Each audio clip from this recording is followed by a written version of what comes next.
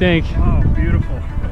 On the uh, corkscrew. Yeah, that was the best I've seen that you do it. Yeah. I mean, it's yeah. It's No, I, I, I would have never be able to do it with any other prop, but this one, it just bit and went. So, nah. So you're just running the Azure Power 5150s. Before that, you're running HQ V1S Uh, V1S uh, 4.3s. 4.3s. So that's so you got definitely gonna get more grip on the higher Uh, pitch. Yes. But how was the efficiency? Um, a little less. A little less? Yeah, yeah, but not bad. I think in a red it's gonna be perfect.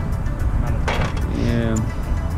No? Plus they look up. badass. So these are the carbon composite material.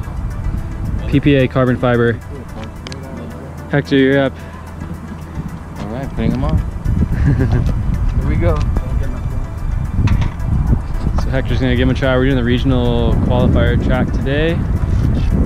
Testing out new props. Hobbywing hooked us up.